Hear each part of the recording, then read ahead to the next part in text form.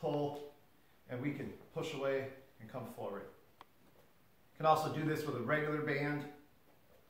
You know, my ankle rolls on the inside, outside, and then pull real tight and come up onto that knee, and I have my way forward for the Achilles. So you have three movements there that we can work and warm up them ankles or pull them down. Ankle mobility, and uh, hopefully those uh, those help you.